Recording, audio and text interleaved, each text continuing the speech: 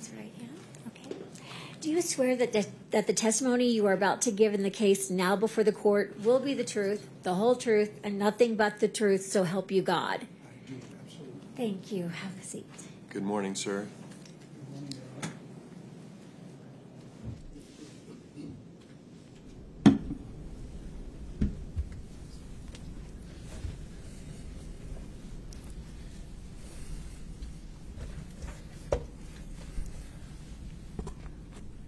Sorry, I want you to get comfortable and speak into the mic, okay?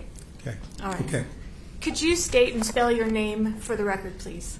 Yes. My name is uh, Terry, T E R R Y, Howard, H O W A R D, Sanderson, S A N D E R S O N. Thank you. Now, Terry, this is the fifth day of trial. We started last Tuesday. Um, you haven't, you weren't here much last week, were you? Not at all. In the court, in the courtroom, were you in the courthouse? Yes, definitely. Okay. Sure.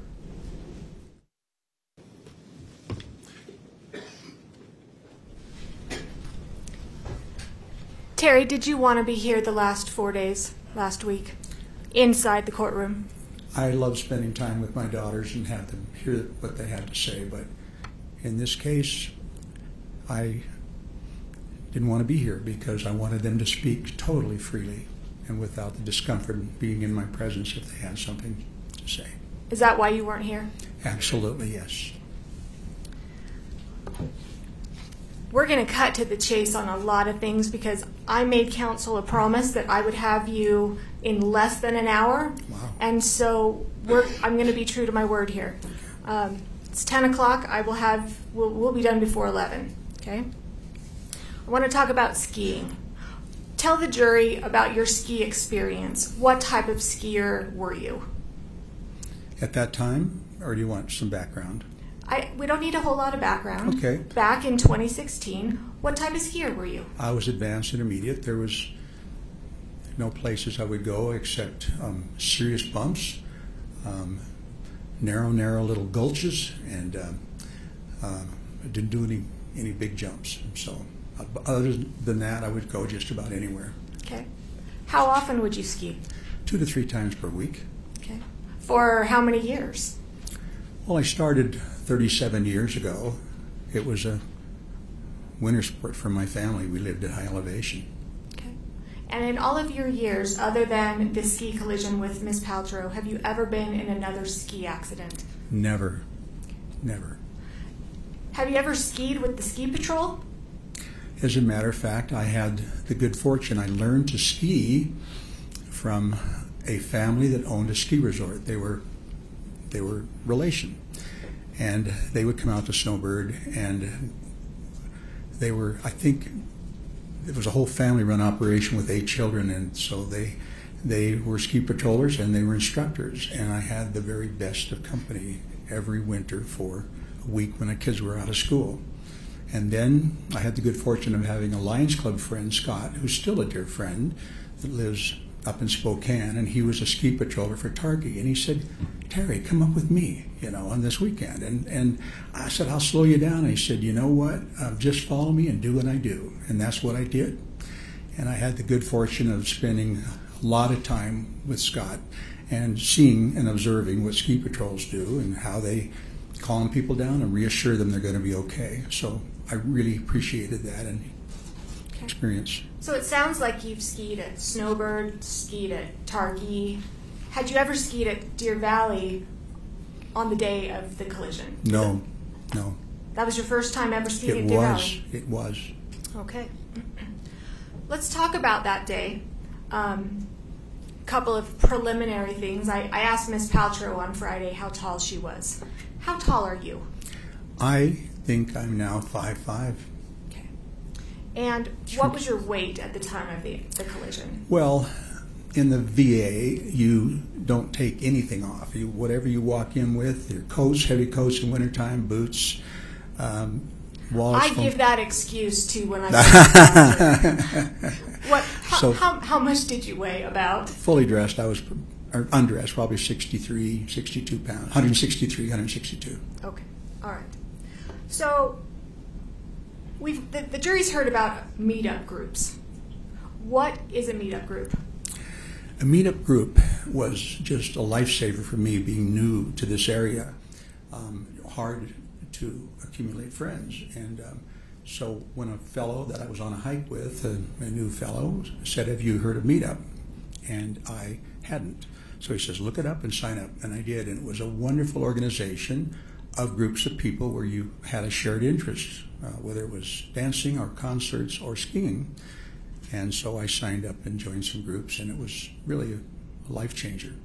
Okay. So my understanding is the day of this ski collision, you were with kind of a group of people in the meetup group. Is that fair? That's right. All right. Did the group have a plan? I mean, were you the organizer of that meetup group that day? No, I was not. I'd asked Kurt to take that over because I planned on being gone that day, and Kirk organized that. Okay. It sounds like obviously you weren't gone that day. You ended up being able to make it. I came back a little early from wherever I was and, and just said, Oh, I'm, I'm going to go ski today. And um, I happened to see on the list that day also was a lady that I had met when I first moved here, and she happened to be a ski instructor at Canyons, and but she had been at Deer Valley as well. And so I called and said, Debbie, I got, I'm going to go. I, I'll, I'll pick you up. So I picked her up at Kimball Junction on the way, and went there with her and dropped her off the skis. And we met the group, and I asked Kurt if it'd be okay if she let our group out because she's very familiar with Deer Valley.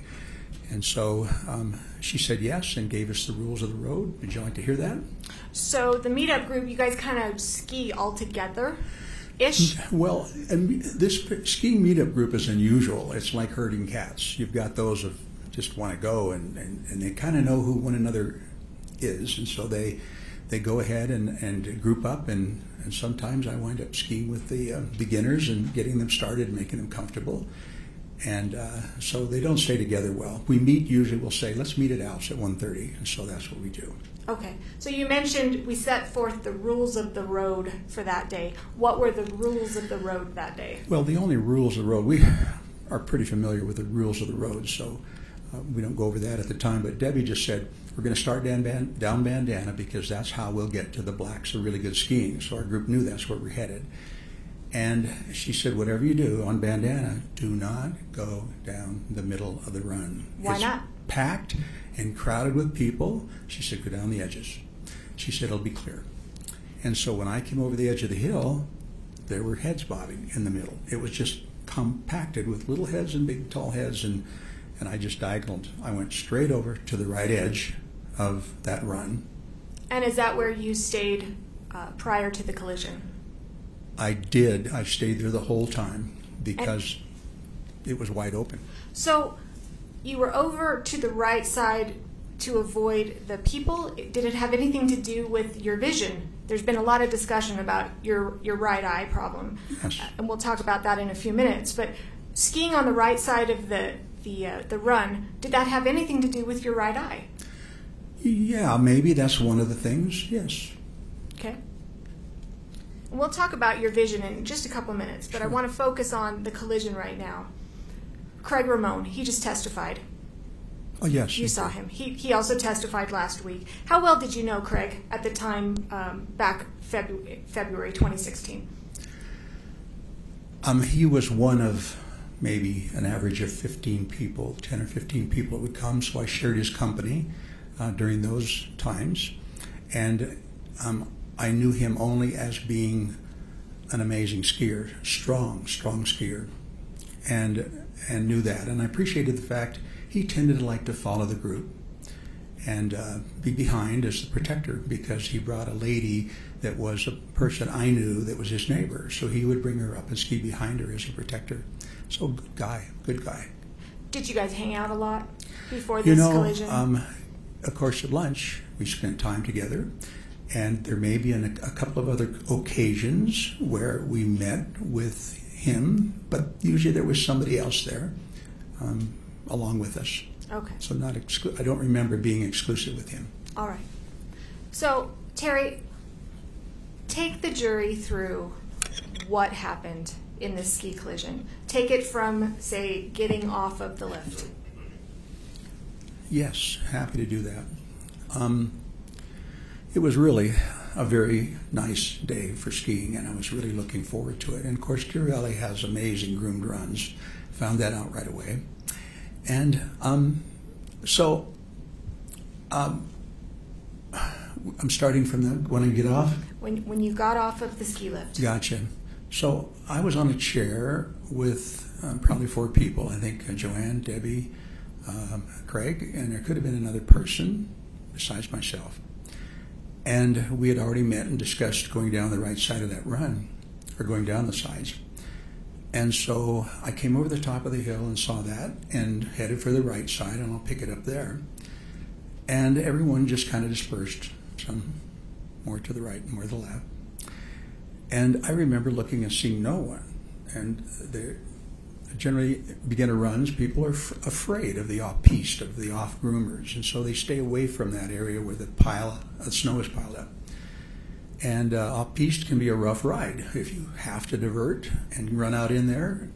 Some skiers can't make it through there easy. It's a lot of bumps. So I start. I went right down the run and started just making nice soft turns and um, staying within that boundary. It could have been as much as five yards wide, but it might have been more like five or six feet. I don't can't, ima- can't imagine and can't remember. Lots of room. And so I'm just skiing easy and paying attention, and um, all of a sudden, in front of me is two big signs. I've never seen that big of slow down signs. It seemed like they were four by eight, like a four by eight sheet of plywood size high, with great big letters, slow down. I went, whoa, and I'm looking around, and the crowd's about the same as me, and speed wise, and so I Did you just pay attention to the sign? I did. And I backed off of whatever I was doing. And then another big sign, like 10 feet away, the same 8 by 4 by 8 sh- sheet up there. Big letters. Well, they're serious. Must be lots of merging trails down here. So um, I just backed off. And again, the skiers were on my left. We were all about the same speed. And um, um, I could see down where the edge of the run went, it curved around. A tree line came out a little bit, and it, the run came, turned, curled around, and I could see about half of the. I don't know if it's the Montage or the Empire. Could about half of that beautiful building, and and um, I, it was wide open. There was nothing, nothing in front of me, and so um, I came around that corner, and it was it takes my breath away to think I, this is hard because I, I don't like going through this scene.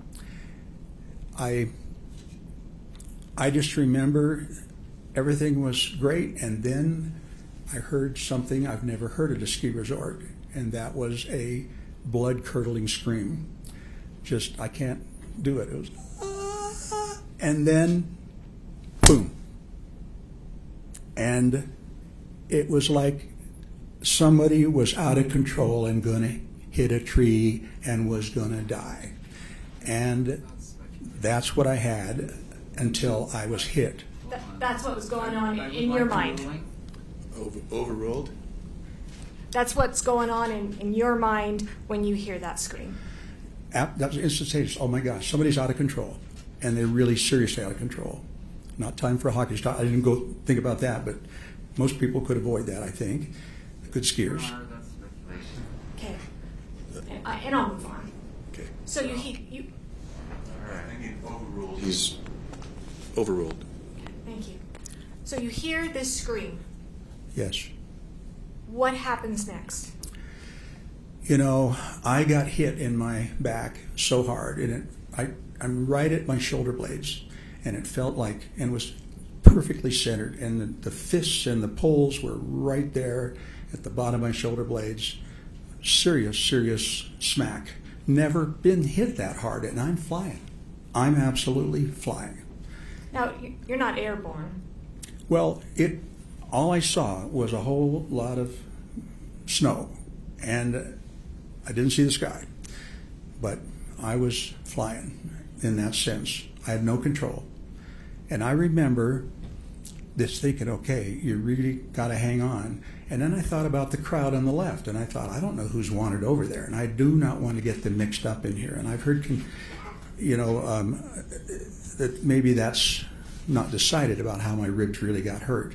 I absolutely lurched with what little I could off of my skis a little bit more to the right to keep to make sure nobody over here got involved on my left side.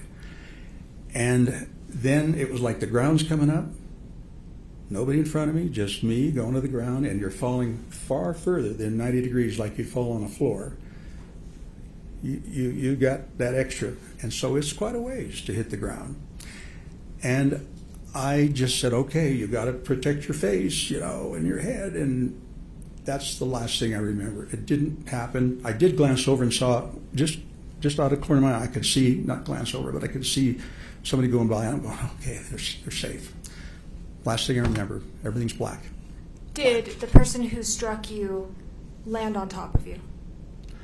I wouldn't know that. I absolutely would not know that. I was just surprised. I had no upper body strength enough to be able to catch myself. I had no idea. She, Do you remember hitting your head on the ground? no, that part, no, that's all gone. I just remember it, my arms collapsing, and that's the last thing I remember. What's the next thing you remember?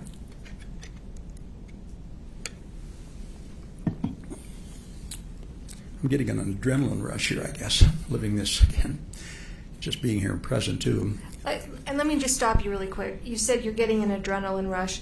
Is this something that you enjoy? Adrenaline rush? Not this No. kind. Yeah. Not now. Okay. Okay. All right. So what's the first thing that you remember? Or the next thing that you remember after Well, you're yes. on the ground? Um, the first I remember is everything is still black, like I'm unconscious, and but it's like my subconscious is going into protection mode. Like you better pay attention here and listen to what's being said to you. And all I could recognize was that someone was really angry at me, and it was a man, and it didn't come out clear in the beginning. I couldn't really hear what he was saying, but I just knew he was mad, and he was right, right above me, right close to me. And I'm feeling a little afraid, and I tried to move, and I could not move a limb. I couldn't move my head. I couldn't move my body. Nothing was responding. Just this message I was getting. And the next thing it became became a little more clear, and I heard him say, "Do you realize? You realize that you were skiing under the rules. You hit somebody. You hurt somebody." And it just insistent that I was the bad guy, and that's why I said, "This has got to be a husband or boyfriend. It's really mad at me, and I sound like Did- a big." Did you know who he was? I had no idea. No idea.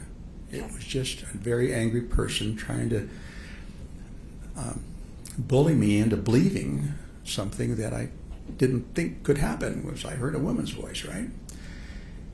Again, couldn't move.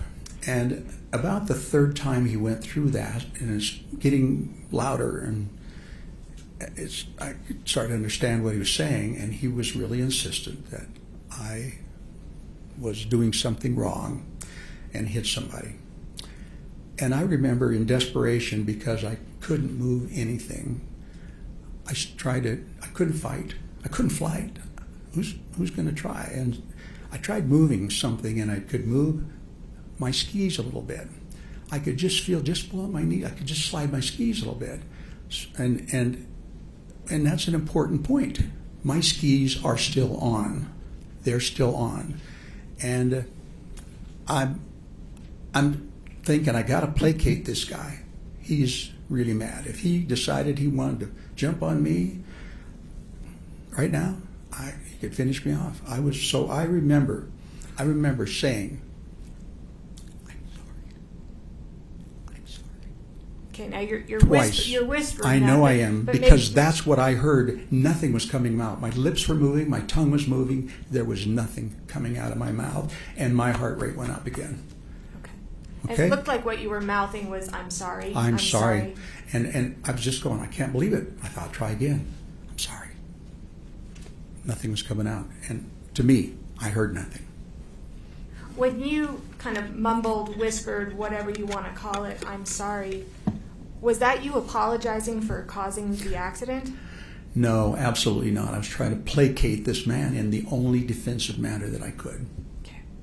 You've talked about the man who was who was yelling at you. Miss Paltrow last week talked about ad- admitted that she was kind of cussing you out as well. Do you remember any conversation that you had or anything that she said to you? Absolutely not. There was one voice that my brain was focused on. Thank God, I guess, um, and and that was self-protection. I guess I only heard a male voice, a mad, angry male voice. I heard nothing. Maybe that happened before I came to that point in consciousness. Were you still on the ground at this time? Still on the ground, absolutely face down Okay. How did, ground. how did you end up getting up? Well, that's a story too, but um, basically, um, I heard Craig saying, Terry, are you okay? Now this is Craig Ramon. Well, uh, at that point, I didn't identify his voice. I, you know, I just things were a little strange yet, and and I heard Terry, "Are you okay?" And um, and about the third time it hit me, somebody's wants to is here to help me. I didn't at that point, except an angry man was there, and I I said, "Oh my gosh," and I went through, and I I looked up and I could see Craig standing there above me, eight or ten feet, and on his immediate left, my right, was a man in an all green outfit and with a helmet on and ski goggles and you know looked good. And um, and I thought, oh, he's here to help me, right? He looks like he's from Deer Valley, and so. Um, I, I was going through the things answering his question about that were my thoughts. Now back to my what my injuries. I'm, Craig is saying, "Are you okay?" And I said, "Oh, my my ribs are so sore. There's just this really deep throbbing purple pain here." And and then I said, um, "My vision is swimming with sparks," and they were unusual sparks. I'm going, "Is that my retina? Is that my eyes?" And it wasn't a retinal detachment, a retinal hole, or anything. And I'm going, "That's my brain." I'm thinking, those sparks on my brain. And all this time you're still on the ground. Uh, I'm still, I'm actually, yeah, the next point is that after I tell him about my ears going, I'm going, my ears are buzzing. Oh, and my, said my brain is like it's on Novocaine. And, and then I realized, oh, I'm not seeing, oh, I, you know what, I missed a spot. And that's where I looked up and couldn't see them and got frightened about that. And I realized, going, oh my, what's going on? And then I went like this and go, oh, happy I could see. So I missed that part. That happened before I started telling what all is wrong with me, answering his question. And then Craig said to me, as I remember, of course, I'm my brains are a little bit stretched out of place, and and uh, I I re, I remember um, him saying, "Do you know who you are?" And what I thought I said was, "Oh my gosh, I can feel." this pathway in my brain. It's going around and trying to figure out who I am. And yes, I know I'm Terry. And then he said, um, Do you know where you are? And I said, I know I'm skiing, but I don't know where I am. And that's when the man in green took off he was I was kind of noticing that he really wasn't interested in what I had to say. He wasn't asking questions. He was standing there rather stoically, head not moving, goggles on, just resting on his poles and his skis and was sort of disinterested. But when he skied off, my heart sank because I really thought he was the one person that was there to help me. And and I, I'm laying on the ground with my head downhill, and I couldn't see where he went. So I was really. Terry, how did you get up? The question is how I got up, and that might have been the question in the beginning, but right. How did you get up? You know, I realized that I was getting cold and um, snow was packed in around me. I was starting to get a little shivery, uh, uh, maybe from a little shockish, maybe. And and I started. I got to go. I got to get my skis downhill, and I started sliding my skis around and my legs around. I think Craig must have been shell shocked about this guy leaving too. I don't know, but what he thought, but. I remember getting my skis around, and it's so painful every time you have to contract your. Terry, Thank you. how did you get up? Thank you. That is one of my habits. I just focus. After I got halfway around, a man showed up in front of me, and I thought he came from the right. And I don't remember if he said one word to me. He just reached down and grabbed me and jerked me up on my feet, which I was not ready to be up on my feet. My head's swimming. I'm in pain, worried about falling down again and breaking a rib, puncturing a lung. He gets me up, and I'm on the edge of the run, so it's bumpy. It's hard to get my skis under me, and I'm stomping down the snow and trying to get them in a spot. Got my got my poles wedged in, and I think I've got it in stability, and he's gone. And this time, I could see him. I could watch him go all the way down the hill. And I'm up. I'm standing up. But am I feeling safe? No. People are going by. Shh, shh, shh, you know. And I'm thinking, I do not want to get hit again. My understanding is that you and Craig tried to ski down a little ways, but then didn't quite make it too far. Is that accurate? Yeah, he said, "You think you can ski?" And I'm thinking, if I, the option is getting left up here, I will try anything. I got to get off of here. So yes, uh, he said, "Follow me," and I did. And I don't know how I was skiing. I don't think I was edging. I think I was probably snow plowing. And he finally turned around and said, "Terry, Terry, stop! You've forgotten how to ski." He, and of course, it was just we were trapped, and he said, "I got to find help." Honor, there's some hearsay here. Does? Eventually, Craig got help, yes? Yeah, he said, I got to find help. And so he disappeared, and I just put, put my head down and prayed that I wouldn't get smacked into again. I felt pretty vulnerable. And he disappeared. What happened when help arrived? You know, um, Whitney um, showed up, and I was so grateful to see someone. And Now, is I- that Whitney Smith? Yes, I, that's her name. Mhm. And the jury has seen pictures, and we're going to put another picture up in just a couple minutes. Is she the one in a, in a red jacket that there's a picture of in this case? Do you know? Yes, as a matter of yes, that's her. Mhm. All right. So, did she take you down on the, tr- the toboggan, or how did you get down? She did. Um, uh, she said, um, "Are you are you okay?" kind of thing, and I don't know. Not so good. I don't remember the conversation. It was a little easy stuff, and so um, got in, and I remember Whitney saying to me, "Now, you got to remember these things because I'm going to ask again later." And she told me that she was from Michigan, moved five years before, uh, and had started on the ski patrol here five years before. She loved her job. Her name was Whitney, and that she had a horse named Titan that she wore in the years off.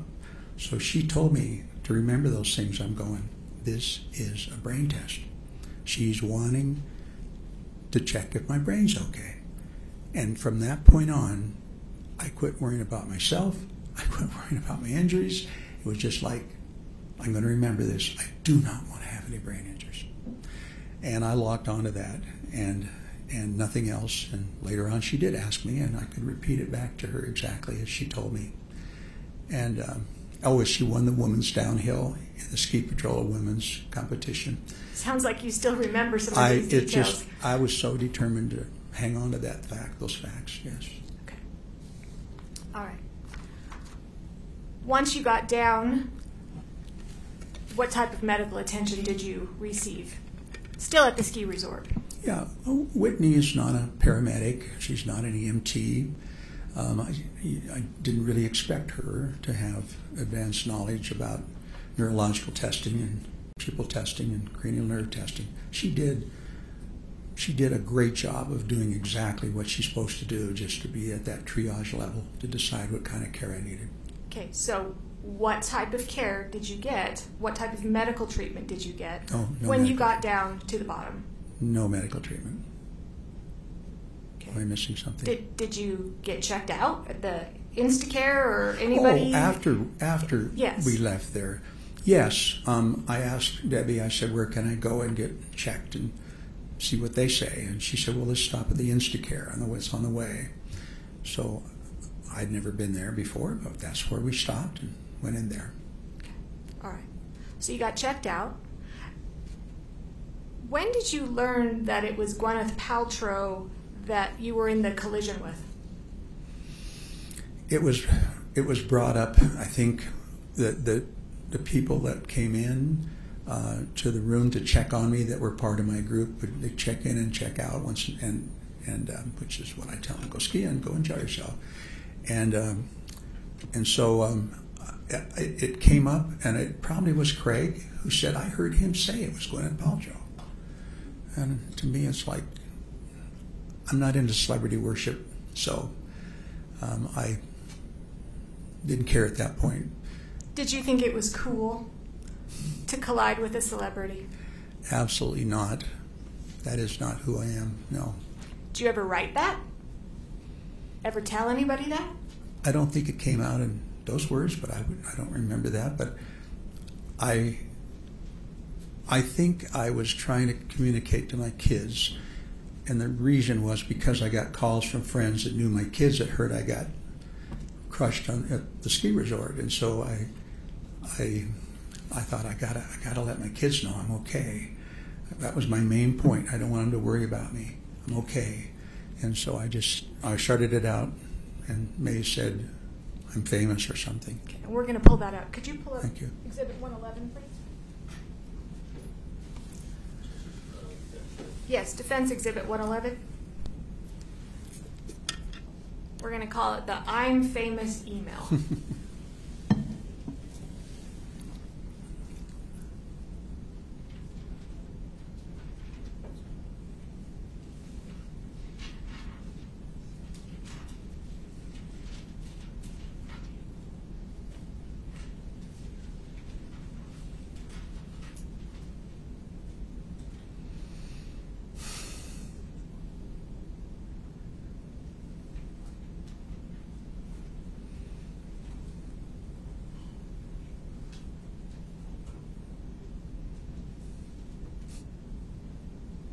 Sometimes old technology like the Elmo works better than the new technology, doesn't it?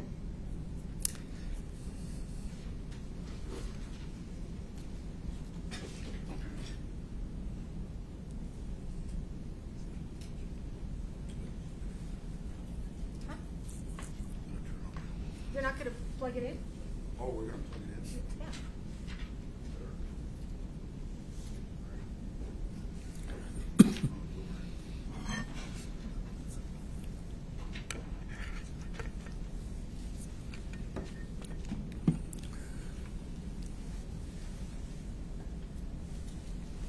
All right. And Terry, you could come down if you need to, or does it show on your screen there?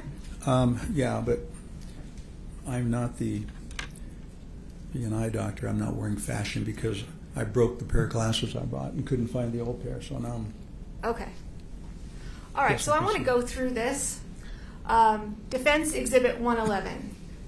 Do you see, first of all, there are two posts. The first looks like on the bottom is the first at uh, 8 o'clock p.m., Yeah. and then the, the response was at 9.32 p.m. Do you see that? I do. All right. The message reads, and I'm just just tell me if I read it right. From you to Jenny, Polly, and Shay. Those are your three daughters. hmm Yes, they are. Okay. And the subject said, "I'm famous." Do you see that? I do. Why did you write "I'm famous"? You know, again, my head was scrambled. All I was trying to do is desperately communicate with my kids before they heard from somebody else I got crushed. So um, I didn't pick my words well. um, not at all how I felt, and I really was trying to add a little levity to a serious situation, and it, it backfired. Little did I know that this is where to be. Um, So you write, I'm famous, and then here's what happened from my friend and eyewitness, and then there's the link. the link. The link. We now know what the link shows. Okay, sorry, I thought you were going to the GoPro. I'll withdraw my comment. I'm just talking about the link. Yes, Okay. So we now know what the link is, yes. correct? The link is.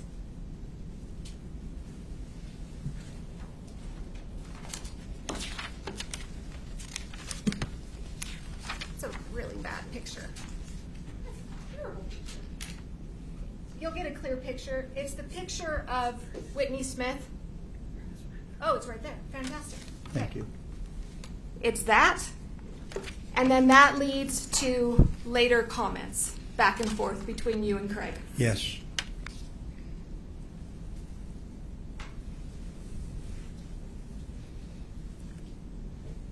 In that, under that picture, can you read what it says?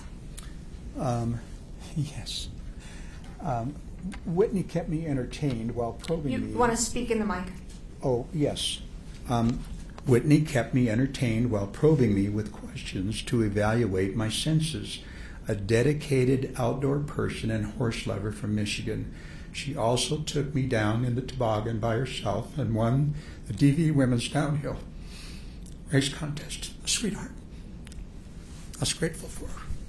Are those the things? First of all, did you write that under her picture? You know, I don't know what time it was added. Carlene was hurrying back from St. George, and depending, I don't know, um, she helped me a lot um, verbalize things because things weren't making sense at all in right. communication, and she may have helped and participated in that. I don't know. Those details, are those the details that Whitney wanted you to memorize as you were taking down the toboggan? Yep. Can you go back up to the emails? All right. So you send that out to your three daughters. I did, yes. Okay.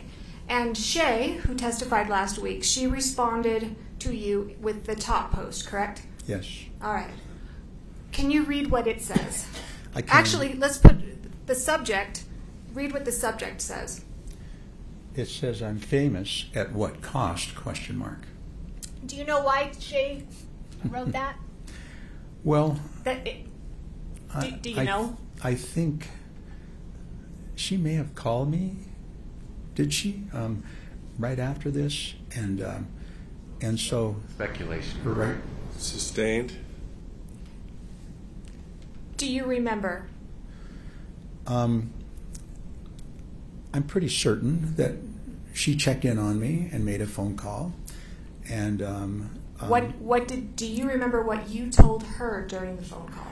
Yeah, I had a chance to talk about my symptoms exactly. I think, and and that I, I said, I said, you know, as many people that were on that slope that day, maybe a couple hundred within that vicinity, there has to be a, a GoPro um, picture or video. If it's a helmet mount, they're going to look over just like Craig did, right? And they're going to go catch it. They hear a holler, they're going to catch it. I'm going, I just know there's one out there. We got to find that. That is the evidence we need. And um, so Terry, she misinterpreted. did you have a GoPro? Absolutely. I do have one, yes, but I did not have it on that day. Do you know of anybody in your ski group that had a GoPro? No, Have you ever seen a GoPro video of this accident? absolutely not. No, I would have loved to have it. It was what we needed. All right. Okay. We can take that off. Thank you.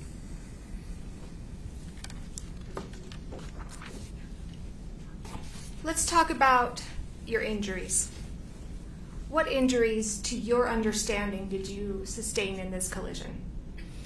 At this point, Right now. Right what, now. What your understanding as to what, What happened, happened? to Terry in this collision? at this point, I know that I had at least at least four broken ribs. Um, I sus- sustained a concussion, um, and um, that's the two main factors, I think. And then later on, had some right leg and still do right leg and anomalies, movement. It just has its own ideas and thinking where it needs to be, opposed to what I'm thinking. Okay. Let's talk about how your ribs, how your brain injury, how that has affected you.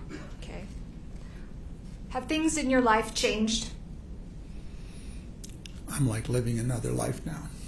Okay. And I, let's focus on. We'll kind of go step by step, different different things. Physical wise, how how have you changed physically since the accident? Well, I can't ski anymore. I was told that if I did and had another crash, that I could wind up full time, full time in a nursing home. The odds of that's very high. So no And- more skiing. Well, and I, I tried, I tried not to go back, and and I did ski a few more times by myself just to see if I still could. I had this ungodly looking fluorescent red outfit I bought, a MIPS helmet to protect my brain better, and I thought I can do this. I really, this is my love and joy. I meet friends, I make friends, I stay with them the whole year. They're, it's a year-round activity, and it's a life, lifelong activity. And so I, I tried, and I felt like I was skiing through landmines. Just ridiculous. Looked ridiculous. All bright fluorescent red. wasn't thinking very well. And then, and then I'd I'd have to stop every 30 yards and look back behind me to make sure no one was right behind me. Saw a reaction, and um, um, gradually gave it out just three four times, and I think I was done. Okay. Before we go into more activities, what about physically? Do you have pains, aches, pains, problems? Your physical being, how are you? Um, I'm I'm a much more careful person. Um, I don't take any risks and more brain damage and I'm not sure I understand your question exactly. Have you had any kinds of balance issues or headaches? Um, of course, initially, that was just I, I my life was living in an orange chair, sitting there. Initially, and sleep for twelve hours, and then sit for half an hour and tell Carlene I gotta I gotta go back to bed. But to be fair, it's not like that anymore. No, it's not. No, I I had no anymore. No, it's not. Let's talk about mentally. How how have you seen yourself change mentally? What are some things that you've noticed or difficulties that you've had mentally? Many things I don't have the words nor the intelligence or training to explain. You have lots of words. I do. I admit. It's just this has been a bizarre part of this process is that I never feel like I've explained enough. There's it's like big gaps. I go I got to start from the beginning and everyone may recognize that by going through and building a case and they don't know what I'm talking about until I get to the subject. So it's everything is backwards. I'm building from the little things and, and then saying, oh, I'm talking about apples. They're going, I had no idea. Upside down and backwards, communication just feels like I, I can't connect. And, um, and so I keep trying, desperately trying. And, and um, yeah, personality changes is not something I, I just know it's different. Things are weird.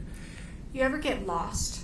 Oh my gosh, that was among the first signs when I tried to get out and work on the green team. And um, The, I, wait, whoa, whoa, what's the green team? What, the- what well, are you I, talking about? I volunteer for lots of groups, um, probably a couple hundred years, hours a year at least, I would think. And green team is one of those that's significant, a large group of heavy, heavy lifters who pick up um, plastic and aluminum recycle after concerts. And USANA was the main one, even though we've done Liberty Park. And it's a group of maybe 15 people. And we stay up until 1 o'clock in the morning picking that up up there. and recycled the last year I worked, 2015, 23 tons. And it's not just walking, 16,000 steps on what I saw. And it's bending and stooping and lifting and picking up and dragging a bag. And it's hard work, but really, really bonding with a lot of people and doing that. So that's what that is.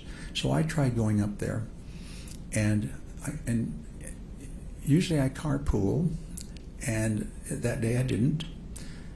Usually the driver, and so I parked and went and did our thing, and it's maybe 12:30, 1 o'clock, and went back to the car and headed home.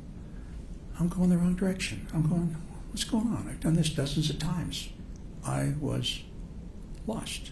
Now, just to clarify, this is since the, the ski crash, right? Oh, yes. Okay. And my instincts for always knowing where north is has really been good. Having grown up in the mountains, it just was instinctual. At night, I had no instincts anymore, anyway. And so I headed just instinctually where I thought I was supposed to be and wound up north or south or somewhere else, and that happened a second time. Had And- that ever happened to you before this ski collision? I've never been so reliable, relying, needing uh, maps, and so um, I, I'm pretty sure I've lost visual memory because it doesn't. Knowing those turns and the houses where you turn, the streets you turn at, that feels like, and I know a little bit about that. That feels like a deficit I have. That that doesn't. I don't retain that anymore. I can be there a dozen times and I still have to use maps to make sure I get there really odd. What about emotional, Terry? How are your relationships with your family and friends since the ski accident? You know, um, my interaction with my family has been more difficult, and um, I I think I.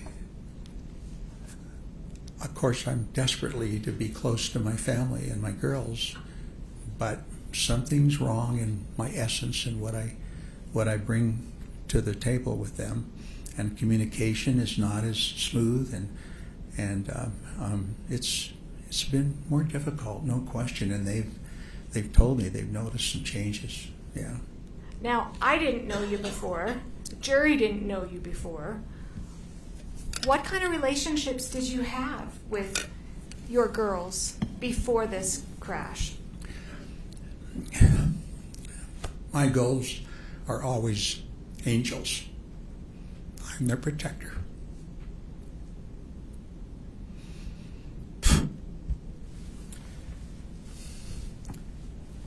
Things happened to them. I'm testifying that I heard about it. Hurts to see them in that place as their protector. I rode home with them and started sobbing, so I get caught up in that. Do you love your girls? Oh my gosh. There's More- been some discussion about um, your relationship with Jenny and that it's not always optimal. From your perspective, what is your relationship like with Jenny? And how has it been even before this accident? Yeah, Jenny, Jenny and I probably don't communicate as well as I do with my other two daughters. Not probably, definitely we don't.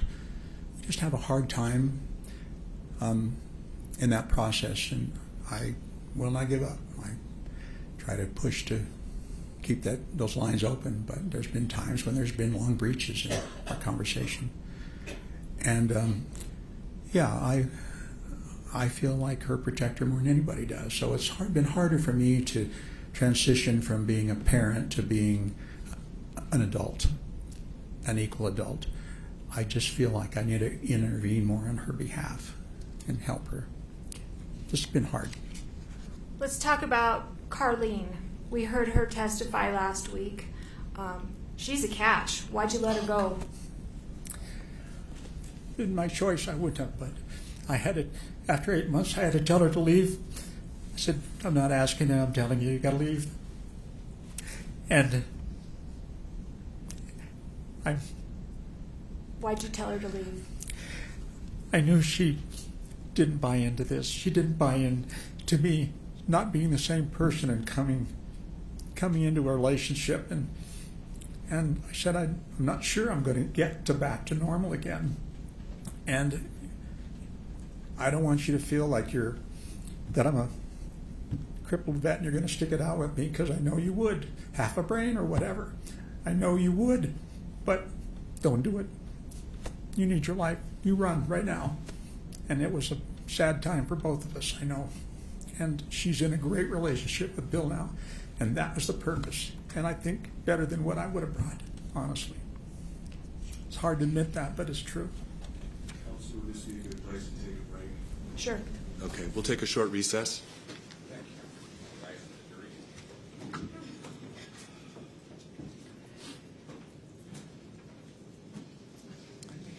Why don't you stand now, and then you're welcome to step down during the break.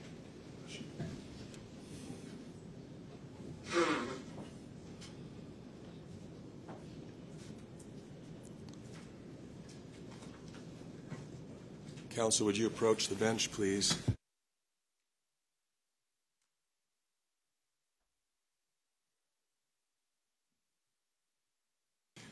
Ms. Van Orman? Yes, thank you.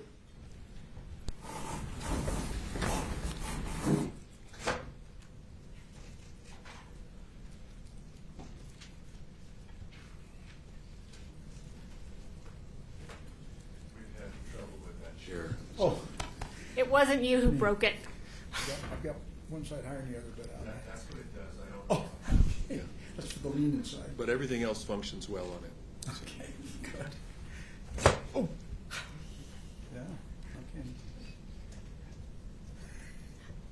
Tell you what, just leave it. We'll, we'll, we'll work Move on. around it. Move on, yes. Okay. All right. So let's get back to some of the things that you've noticed. Um, we've heard from others, but I want to hear from you. Yes. Um, have you had any type of anger issues since the collision that, that you've noticed? There's no question I have a much wider range of, yeah, temperament than I had before, much wider. What about your social life? Do you before before the ski accident? What kind of things did you do? You know, I, I look back in the last couple of years, in fact, I did that, and I just realized I was in the groove of my life at that stage.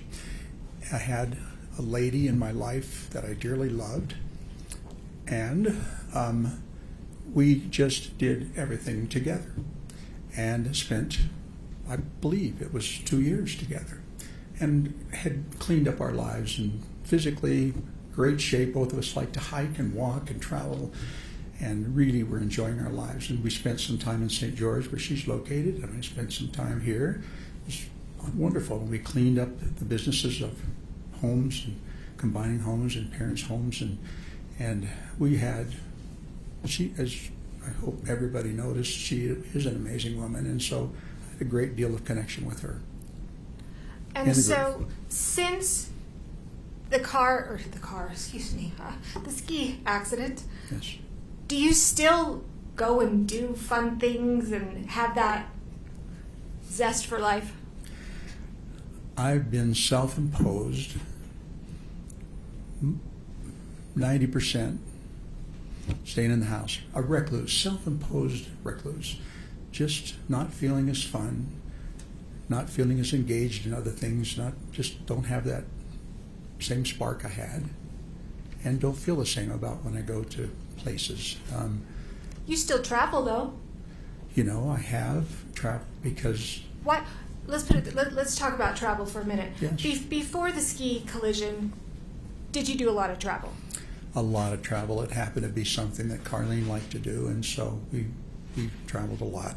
Went on the only cruise that I was ever on um, before the crash, and yes, we had and we had more plans. Did you ever travel alone before the ski Accident? I did. I did travel alone in a few places. Yes. Okay. What about since the ski collision? Have you still traveled? I have traveled, and as part of the problem, I'm uh, just easily confused about things. Um, so I usually request having somebody else along. Also, because of this funny aberrant foot thing, wanting to go its own way, I don't feel as safe. And then also, um, yeah, things would happen like I put the wrong name, I get their name spelled wrong, and important flight tickets and and the birth date, which I should know. So it was it was difficult, and I really wanted someone to go with me. I didn't feel as secure traveling alone. Have you traveled alone since the ski accident? I have not. I had one time when um, a, a friend, one friend, there's actually two, but I had one friend when we had planned a trip to Europe, a physician's assistant and um, a, a, my yoga instructor. And she decided right before the trip, um, Terry, I don't like you anymore. I don't know what's different. You're a different person. I don't like you anymore. And How- canceled her. How'd that make you feel? It was like, oh my gosh, I'd known her as long, and one other one as well, as long as I've lived here. Almost five years, I'm guessing, at that time. And it's like personality, like that's something that develops from the time you're a child. How, what do you do about a personality issue? Something's changed. I'm, I don't know, more aggressive. And you know what? That lady will not answer her phone or texts. And I have. Well, we're not going to say her name on on No, we are broadcast, not. so we we're not. Gonna, we're not going to. She's a lovely lady. Yes, she is. Have Have your other friendships been affected as well? Yes, um, another lady that I knew for quite some time, a sweetheart, also of a woman. Um, we just got off kilter a little bit. Well, after Carlene, after I told Carlene she had to run, um, it was a few weeks later. I couldn't realize how lonely I was. Yes, I should have taken more time to absorb that, but I was so lonely because we were together all the time. So I reached out to her, and we spent a couple of things, activities together, and I couldn't believe the words that came out of her mouth. She said, "Terry, It it is it is hearsay, so we can't you can't testify as to what she said. But how did it make you feel? well, it made me feel like what's wrong with me, and how do I fix my personality? How do I fix it? I'm a different person." It's a pretty complex issue, and I lose self confidence. The person I am, I'm going, "What happened?" Terry, are you trying to improve yourself? I've been in denial. I've been in denial about my issue. I refuse to believe I have brain issues. I've just done everything I can. I knew I had a critical window to restore stuff, and I did everything I was told and everything I could find out about trying to get those neurons reconfigured in a good way. And I haven't found it's helped, so I'm still in denial. I keep thinking there's got to be something. Are you trying to improve yourself? Yes, I don't want to have brain issues. I'm trying to prove I don't have it. Everything I do, I'm trying to prove I don't have that wrong with me. There's been a lot of discussions about how Terry was before this ski collision. Um, and could you put up Defense Exhibit 23, please? And I'm actually going to move for the admission of the entire Defense Exhibit 23. I'm assuming there's no objection.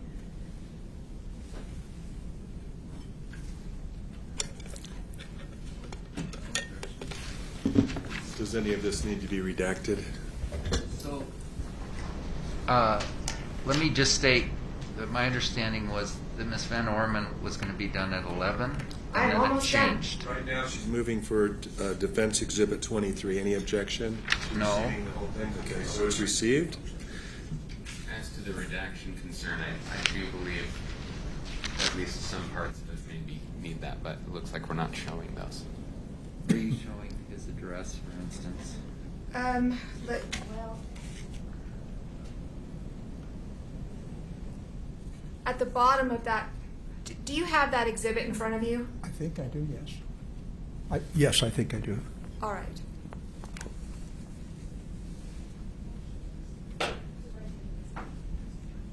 Don't go as far as the address showing. There's the address. There. Yep. Thank you. Do you see where it says chief complaint down at the bottom? Yes, I do. It Yes, says regular visit. yes. Was this a regular visit that you were attending with um, with with your provider? Um, it, it could be. I, I, I don't know. I usually saw her once a year or once every six months. So if that's what it says, I believe that's. Okay.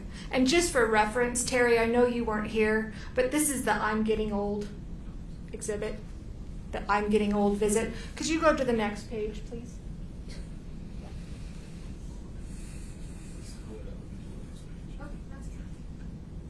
Is this defense twenty-three or? Defense Defense 23. All all of Defense 23. I have nothing in front of me now. It, it's coming. Don't worry. Oh, All right, so this is the second page of that exhibit. Talks about 69 year old male with HTN, HLD. We're not going to go through all of those Yeah, things, yeah. okay? thank you. Um, just got over a, a URI. Do you know what a URI is? I do. What is Yeah. it? Upper respiratory infection. Okay.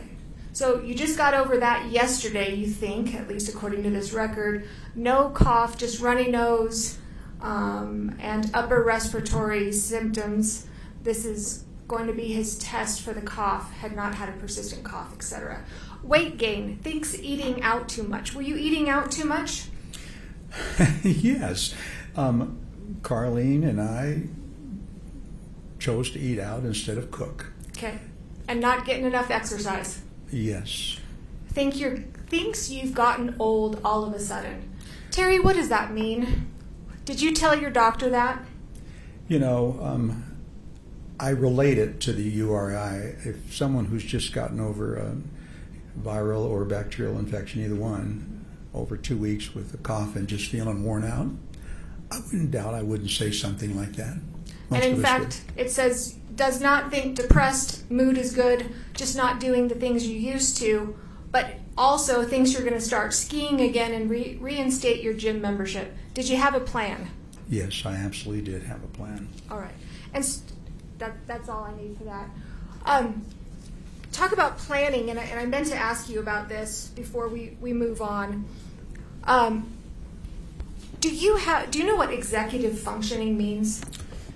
Yes, I'm familiar with that term actually from What, before. what's your understanding of what it means? It's ability to coordinate your actions through your life, to be able to put things together, make decisions about them, get things done, and be efficient and effective, and be able to multitask and um, um, be effective, be And- efficient and effective. Ex- Can we approach? Sure. Trying to move along. So Terry, you were talking about executive functioning. You kind of gave a, a what that means to you. It looked like to me from Exhibit 23, you were able to make a plan in your life and kind of follow through with that. Have you been able to do that since the ski accident?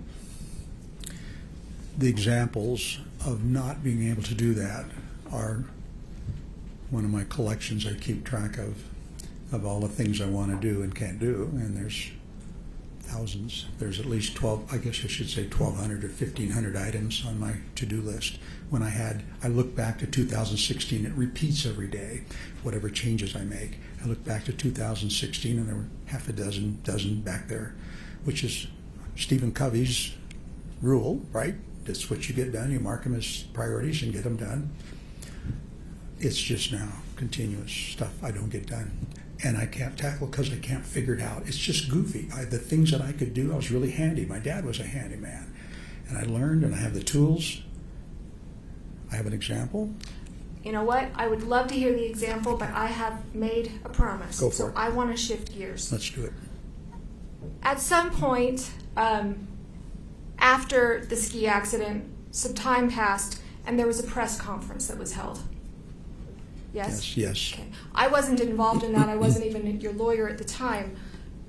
Was the press conference your idea? Absolutely not. Do you know why the press conference was held? Your Honor, that's.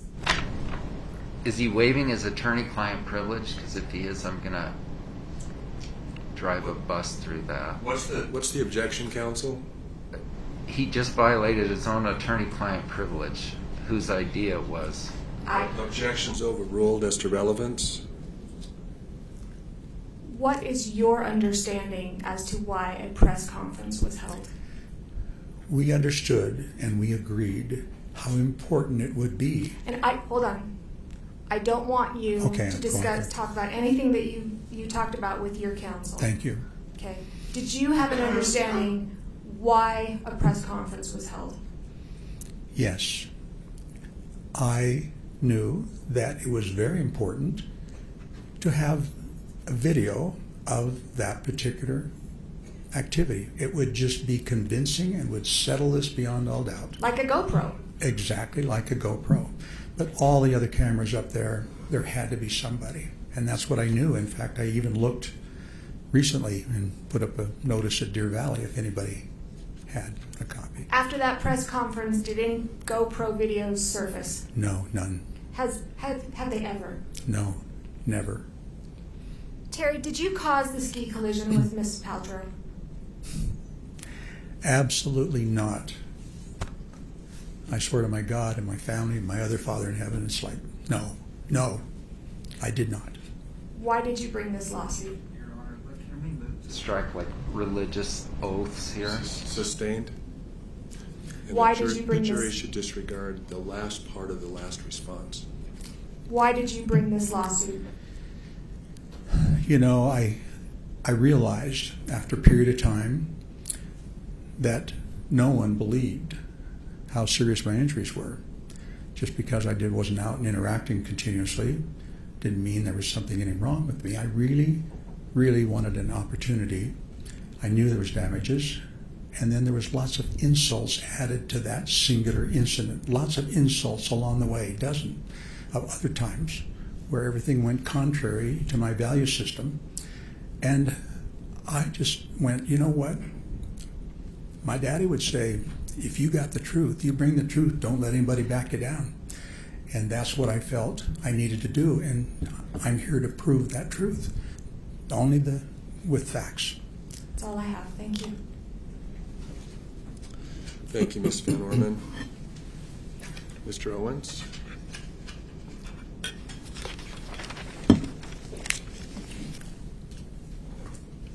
So I caught a cold, so I'm kind of keeping my distance from people. Let's see, where's that little microphone that moves? Just on the table. Right. Oh, there it is, thank you.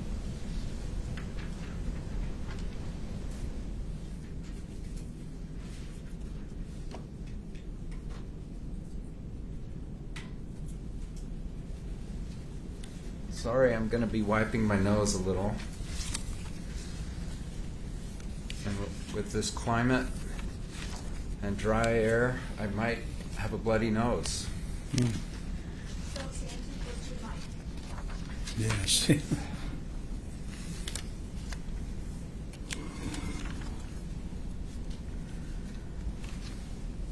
All right, let's talk about a few things.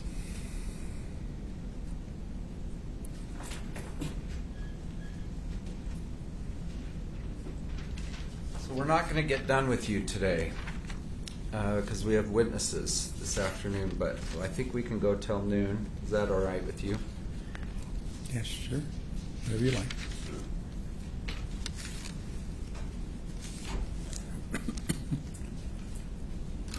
Did you ever say to me,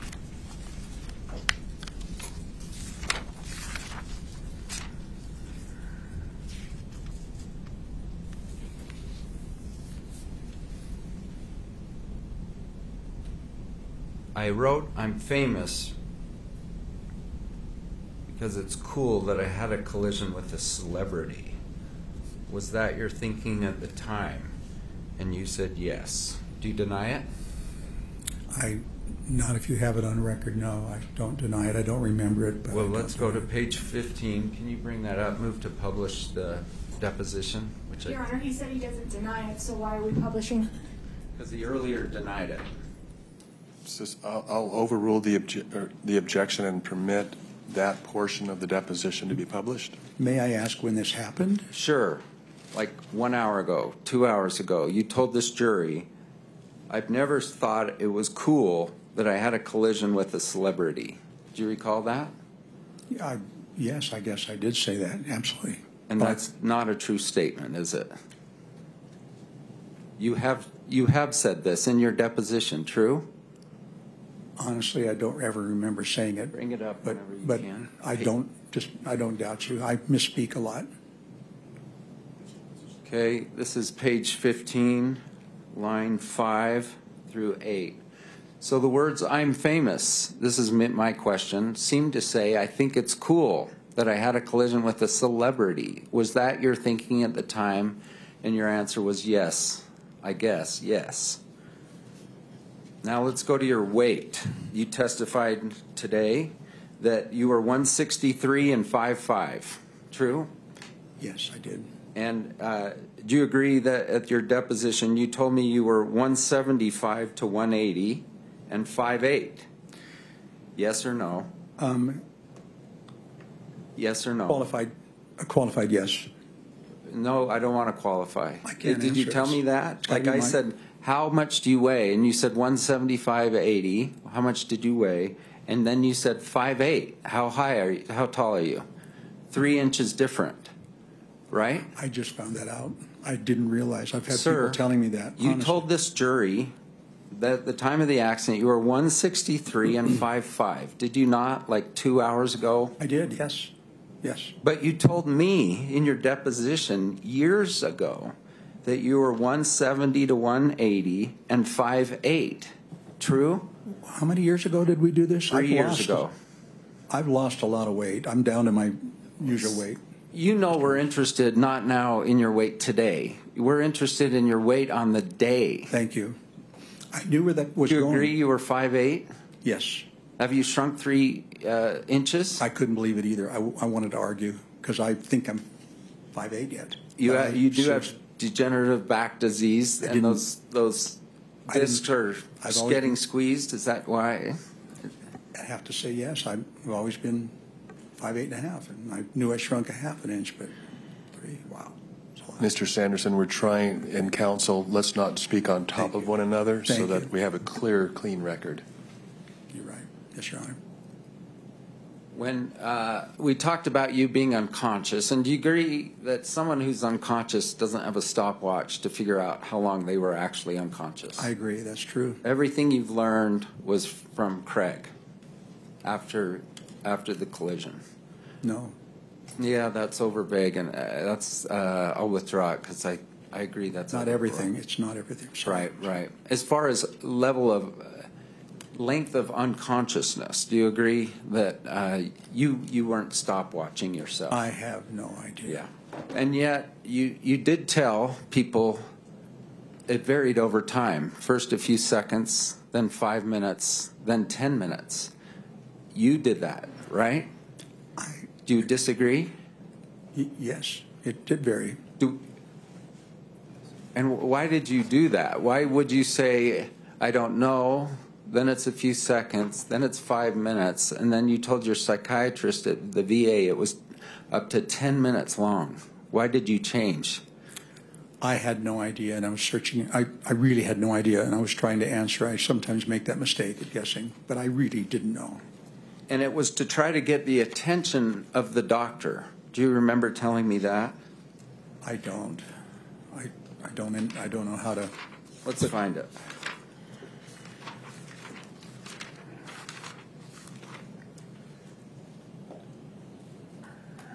What's the date? Let's go to page 95. Which deposition, one, two, or three? One, they're, they're all cumulative, so the page will tell you that. Page 95, starting at uh, line seven.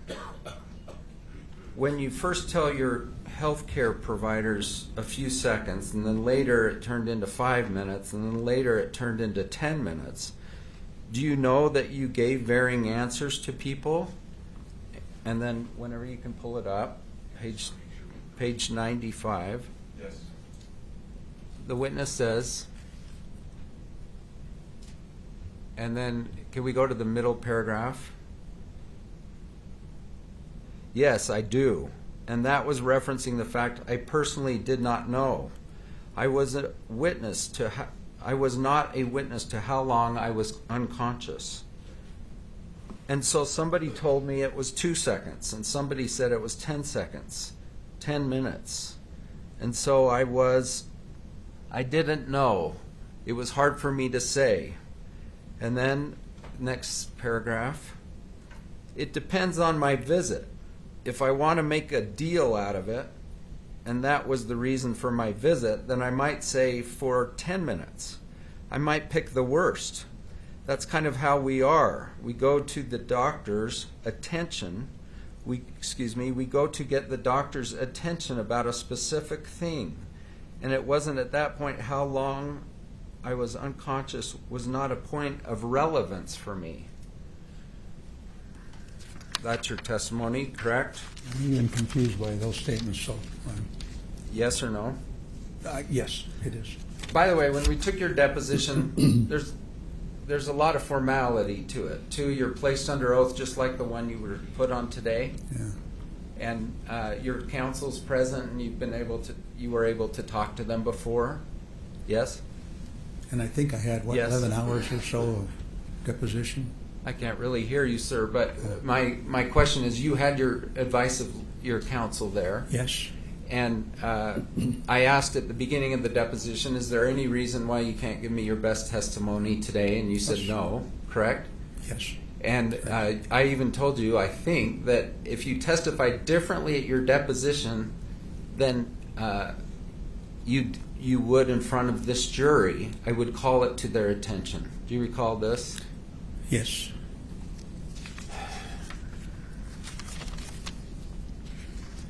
And you took an oath, and you you then had the opportunity to make any changes to your deposition transcript. Is that true? Um, yes. And did you? No, I don't remember making any changes. I think I made two with you. Um, I said two corrections and, and that I remembered. Okay. You And- didn't. and you, you didn't make some, and uh, counsel told you let's let's not submit those. I haven't looked at these depositions at all. Not at all. Do you dispute that? Uh, well, I heard you call Eric Christensen, a Deer Valley instructor for 40 years, a bully. Did you say that? I did say that, yes. And that he was yelling at your face. Yes. I figured out. I didn't we'll- actually know that until, and we'll meet that at we'll meet him at one o'clock. Uh, Deer Valley's known, or at least puts itself out there, doesn't it, as like the most customer friendly they could possibly be. Do you agree? I agree.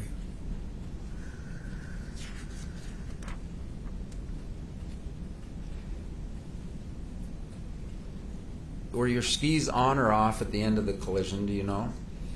Absolutely, they were on, Okay. So you do remember some things after. yes. Okay. And uh, Craig, you.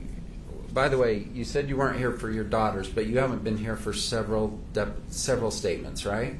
Several, yes. It was more than just like I don't want to make my daughters uncomfortable. You haven't been here for many. I didn't. Yeah. And Sam Goldstein said part of the reason is you don't take criticism well. Do you agree with that statement? I always, I always want to be a better person, and I thought I, I thought I, I even tell my kids if I'm doing something wrong, tell me. I want to be better. All right. So do you agree or disagree with this statement? Uh, Mr. Sanderson does not take criticism well. Hard for me to measure that. I've not been around other humans as much as I have been in the past, so it's hard for me to measure that. Honestly, I don't.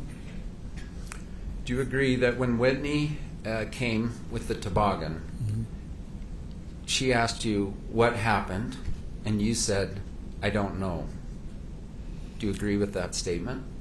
Um, I, if if that's on the record, I don't disagree with it. I don't remember that particular part of our interaction. I just remember she said something to me, and It's the first question, right? Ski patroller comes up. By the way, you've hurt, hurt yourself before skiing, true? never But- needing never needing help, right? Get Before this incident, though, you injured your knee. I had when I first learned to ski that first year. All right. Beaver. hmm So you don't dispute that the first thing Whitney asked you was like, "How are you?" And what happened? Do you agree? Those are like the first two questions. I have no recollection of those questions. I don't. I would think she would reach out to me, but I don't. Did you ever complain to Deer Valley about Eric Christensen? Like I was treated like a bully? I had a lot of time to think about it. Yes or no? I don't know if I did. I wasn't. I think when I contacted Deer Valley, I I was just So- after I wanted to find out who hit me, and I wanted to copy the records, and I didn't bring it up. Yeah, you never once wrote to Deer Valley like, "Hey, your your uh, ski instructor is a total sob to me. He treated me poorly." That's correct. I didn't bring it up because I did not want to cause some anger from them. I wanted to copy and find out who hit me. But seven years later, you're here saying he was terrible to me, just terrible. Uh, Ramon, Craig Ramon said words to the effect that um, Christensen said to Ramon, "Your buddy took out Gwyneth Paltrow." Did you hear those words? I did. You personally heard them with your. So now I want to be clear because I'm not trying to confuse you. Did you hear them when you were on the ski No. slope? Uh, okay. And Ramon did not do anything to try to set the record straight at that point. Do you know anything about that? About who hit me correct when we got down into the into at that medical point care. was my question Yeah. on the mountain. Yeah. On the mountain, but in the shed. I was Okay. You said your skis were on after the collision. Do you recall your head being downhill or Yeah. uphill? absolutely downhill. I was going down, and absolutely. So several witnesses say the opposite, and you disagree. I disagree absolutely because I couldn't get up. And where was uh, Gwyneth's head? Gwyneth's head when she came to arrest. Head I have- down, head I- up, I have no idea. As far as I know, she didn't exist. because you didn't see anything. I was out. I had no idea. Everything else is what I heard. Did you tell Eric Christensen, according to his report, that she appeared right in front of me? Yes or no? No, no, So he just made that up. must have. Deer Valley just uh, uh, falsified a record. Is that your opinion? I never would have said that. I knew where it came from. You know you sued Deer Valley in this claim, true? Yes, yes. Objection, Your Honor, relevance? Sustained? And we're not dealing with any of that today. True? We're not dealing with the, this. Objection, relevance? Move to strike. Sustained. The, the question is stricken and the jury should disregard. So, Your Honor, I just want to be able to ask if, if you're willing, is you're not suing Deer Valley today? Your Honor, objection, third objection now, move to strike again. Sustained, stricken. Okay. Disregard, please.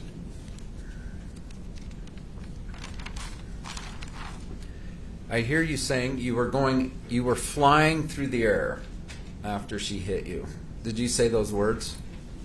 Yes Or, yes or no? Today? Today. Today I did.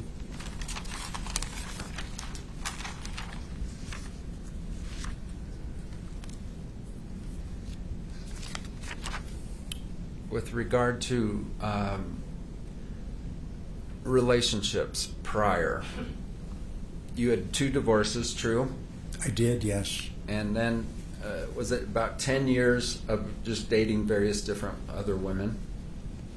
I guess I wouldn't know exactly. Wouldn't be unreasonable, maybe. Well, I'm just saying if the ac- incident occurred in 2016, when was your second divorce? About 30 10 years 30 earlier? ago. Thir- I'm thinking 30 years ago, I'm thinking.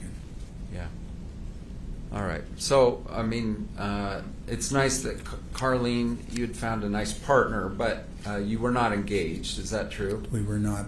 And that's she was actually living hundreds of miles away from you. We went back and forth. It's three hours four hours maybe, the most. A couple hundred miles, I think, isn't it? I don't know. St. George. We'll let it, we'll move on. Thank you.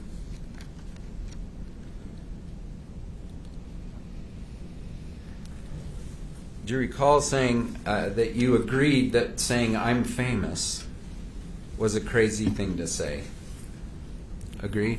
Absolutely, it's not me. It's, I don't buy into that. But it was you, right?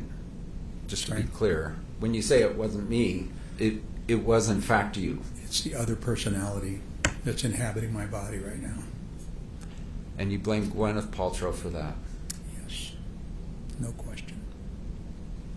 Do you recall having a kind of a stroke event like 10 years or so before the incident?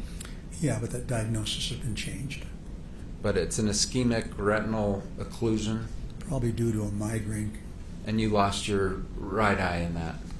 I lost some vision in that eye, yes. And uh, that was one of the reasons you, re- you retired. One of many. Mhm.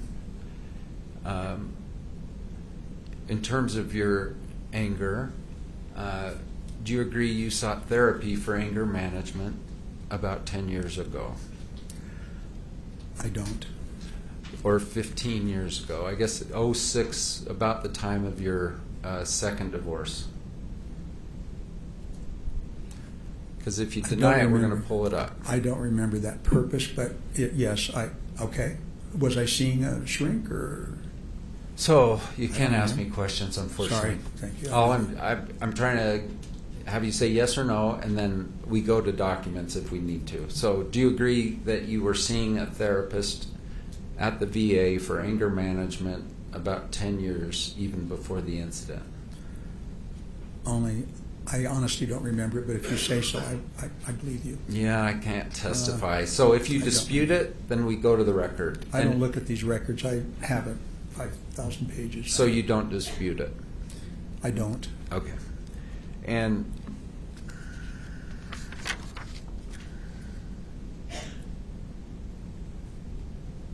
did you tell Shay that there was a GoPro recording?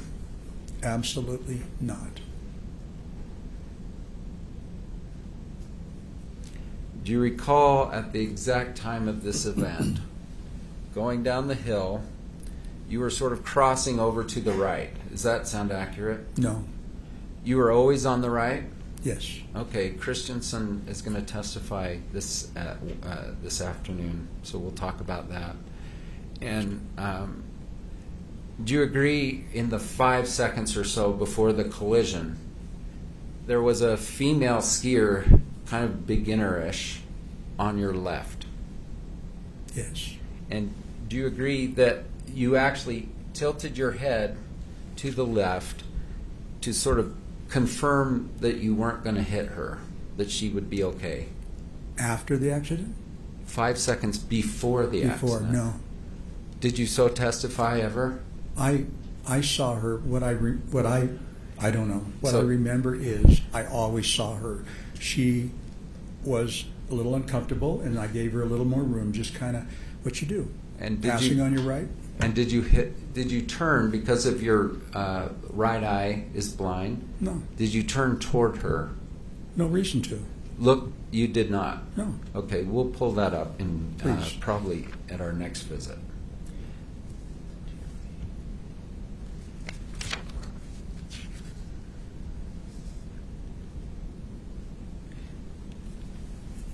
You texted about Whitney, the toboggan person, how how happy you were with her. True.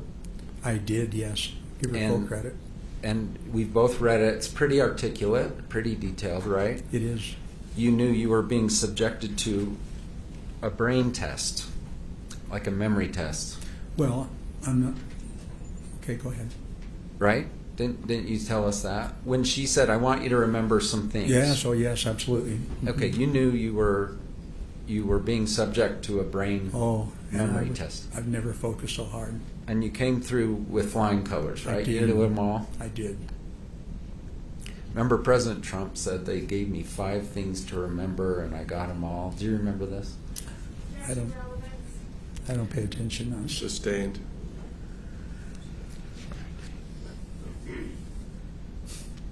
You called her a sweetheart and that she entertained you. And that was all really within a half hour of the incident? A half hour of the collision? Is that true?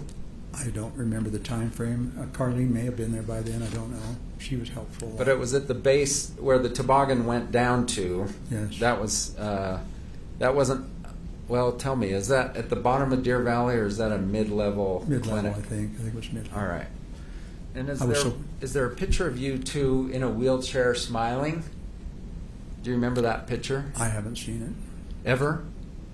Don't remember seeing it. No. Shay mentioned it, that there was a picture of you, and maybe it was at the Instacare. Do you remember anyone, any, any picture of you in the Instacare in a wheelchair smiling? No, I don't. Okay, and I asked you about it, and you said I just smiled because they told me. Uh, If somebody says smile, someone said smile, and you smiled. I don't. Does this ring a bell from your deposition? It does not. I. Okay. But that's. So you took a picture of Whitney, right? I did. Composed that very nice email with all the details, and then you sent it to your group. Probably. I don't say I composed it. I it, could have had Carlene's help. She may have been there then. And that's well, you did it though, right? You you came up with those exact words. Carlene didn't do that. I may have helped her.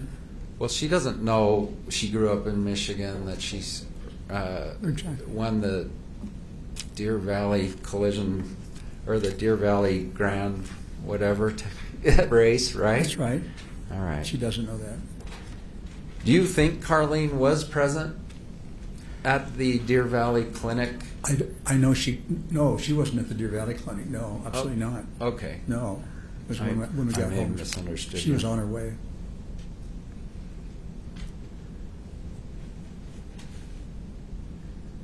Do you remember Carlene didn't buy into this? Was that your quotes in terms of your?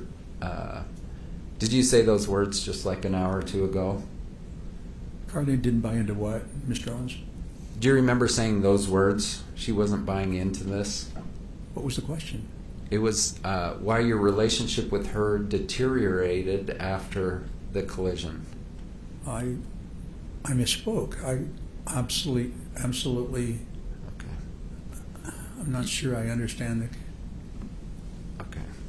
To be, be clear on that issue, and I realize I'm jumping around, but I'm keeping an eye on the clock. Did you, um, with regard to Carlene, it sounds like you shut it down. You shut the relationship down. Is that true? I made a very strong statement that she was going to be better off without me. Yes. And you told her that? Yes. So Carlene was here a couple days ago and said, I, I, he never told me. Did you tell her? just I had no idea I why. told her what I said. What I said, what I what I thought I said was, Carlene, I you got to run. I don't want you stuck with me. And I know you would stay by me. I know she would. So your next, then you started calling your daughters. It sounds like even before the "I'm famous" thing. Is that true? I don't remember that honestly. Uh, Shay said she took a call from you about six something. Okay. So, so about six hours later. Okay. Have you ever read her depositions, No. by the way, or Jenny's? I told him I wouldn't. Okay. And they had even expressed like, "Hey, Dad, we're we're kind of concerned because we got to talk about you and how you were growing up and things, and we're we're kind of concerned that it will hurt your feelings." Do you recall this? I didn't know why, but they never, I don't remember them telling me that. I just I decided that before.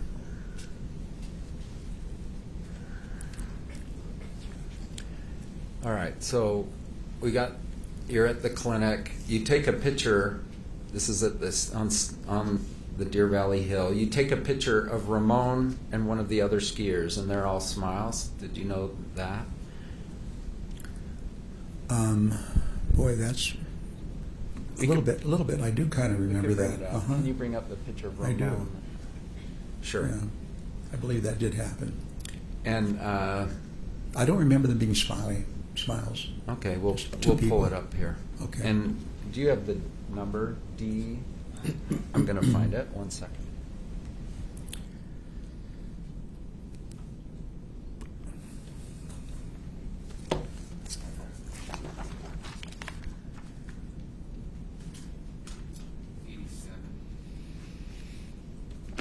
D87 move to admit. I think it was. If, if not, no objection. Go ahead. D eighty-seven received? Do you remember, and I can give you a hard binder if you want. It looks like the monitor's working. Uh, do you recognize that you took this picture? I recognize the picture, and I probably did take it. All right. Smile, you know.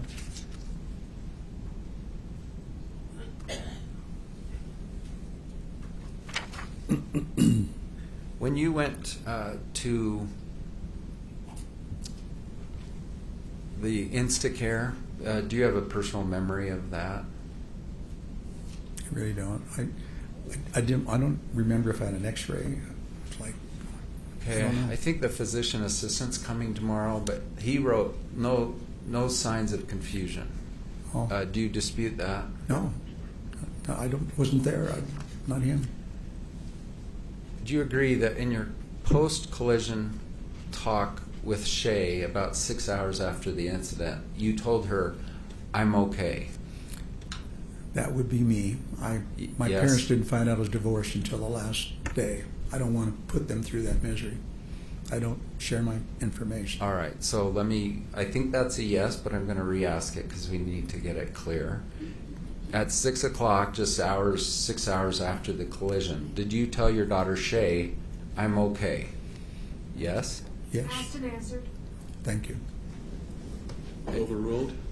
And then on the hill, on the hill itself, with the accident having occurred just in the prior minutes, do you agree that someone asked you, Are you okay? That is absolutely beyond a doubt wrong. No one spoke to me when I was needing help. No one stopped. No one. So your testimony is Eric Christiansen just sat there and looked at an unconscious man for several minutes. Is that your testimony? Yes, he never said one word to me that I recall. Maybe when he got me up. So R- Ramon, although he did uh, try to change his deposition, did say that at one point you said, "I'm okay." Do you dispute it? I disputed. Now, I never to dispute it, okay. you have to know everything you said, right? Like I know everything I said, and I didn't say it. Are you saying you have a perfect memory of what you said on that hill just after the collision? Yes or no? I knew. That's I, an argumentative. That's not argumentative. O- Overruled? Yes or no? um, Say yes or no, please. question again, please. Yes. Do you agree that uh, you do not have a perfect memory of what you s- told others after the, in, the one, two minutes, three minutes after the collision? Or do you have a perfect memory? Well, that word is so ultimate. Perfect. No. Right. An answer would be no. It's not perfect. Okay. So it's possible you said, for instance, Eric Christiansen is going to testify, first witness this afternoon, that you told him, I'm okay. Do you dispute it? I disputed. I Okay. never felt safe and like anybody was there to help me. And then I he- would not have said it. He's about to testify that not only he was there, but a ski patroller duo came over. One of them came over and said, Do you guys need any help, or words to that effect? And that you consulted with Ramon and then said, No. Do you dispute it? I absolutely would have said no. I never said safe. So I don't want to say what I would have said. I want to know if you remember. Do you remember that? No. you- I don't remember. In fact, you don't even remember that ski patrollers came by. True? No, I do not remember that. Yeah. Ever.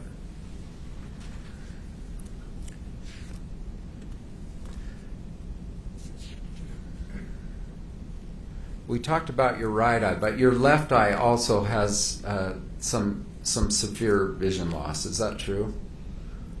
No. I see 20/20 in that eye. Did you have a cataract in that eye? I did. And that cataract's been removed Yes. since the ski collision. Yes.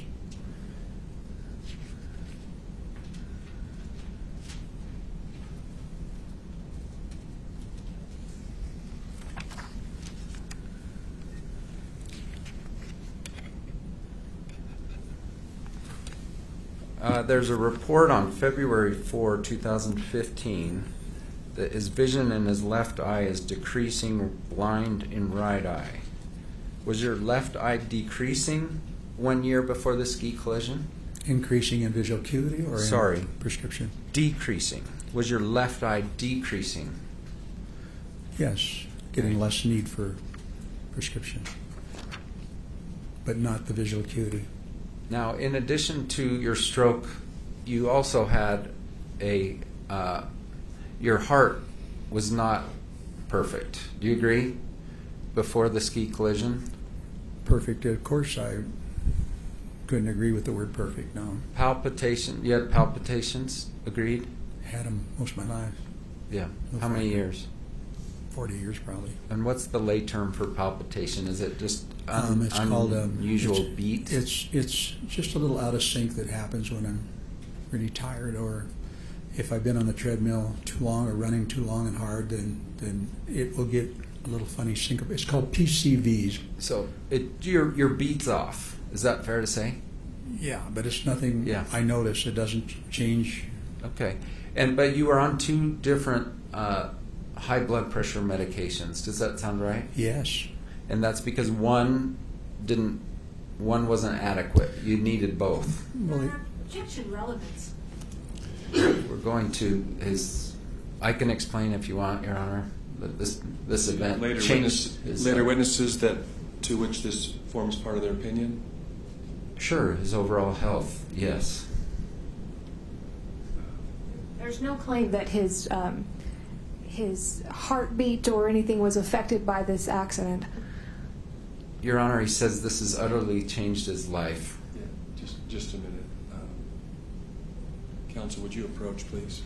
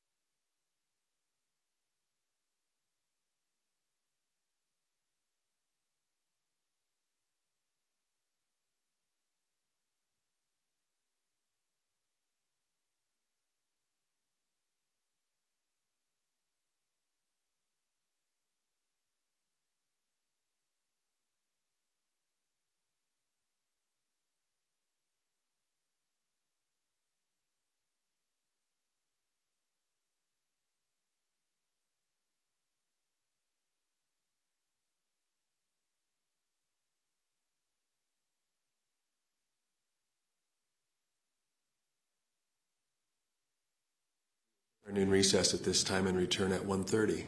Thank you.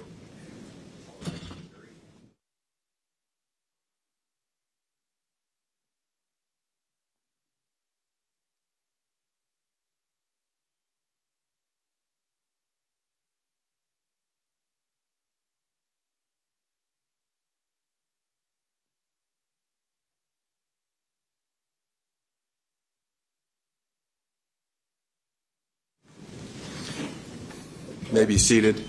So, con- consistent with the motion and limine ruling that the court gave at the, uh, before trial, um,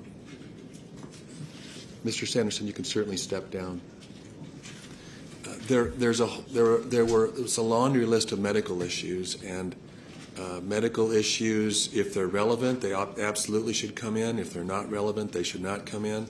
So there will need to be, I mean, I need, I need from you an assurance that this is a conditional relevance uh, situation and, and that you will tie in the relevance later and not just a vague statement from an expert that this guy had a lot of health problems before.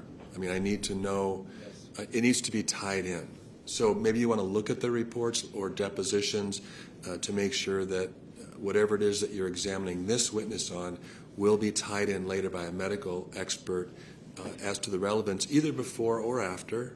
I mean, either one of those would be relevant. James is sort of on the damages end, so I'll defer to him on the specifics. But we are talking, when they say it's utterly ruined my life, that's, we're talking about the whole package. And aging is one of the primary, just normal aging is one of the primary issues for our experts. And so uh, we got to look at the whole package, not how about this heart thing, and how about this prostate thing, and how about this. Um, we're, we will argue, and our experts will back it, is that that's the reason he is kind of slowly deteriorating, progressive aging. Okay. So, so take a look at what the opinions will be, and if they're, if you feel as though they're tied in, um, then you can go into those areas. Thank you. It seemed like there was one other issue. Okay, I just want to kind of put this on the, the stand. So I had, I had seven witnesses lined up. I was supposed to take over the case this morning at 9 a.m. Many are out of state. Um, plaintiffs' counsel, I don't dispute everyone's working hard, but it has significantly thrown off my witness list to the point that I'm actually having to cancel witnesses, and so that we can read their transcripts. Um, and some people, some of our experts in particular, flying in out of state, I can testify during this small window.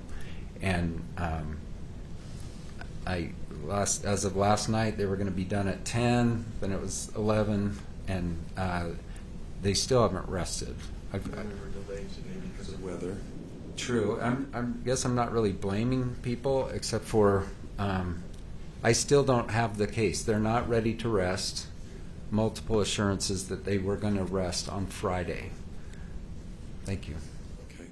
And, and also for the record, the, the court didn't issue an order uh, concerning, you know, when one case one must be rested and one other uh, must be rested. It's, I, I've been leaving it up to counsel to work that out, and I, from my perspective, it looks like uh, everyone's doing the best they can.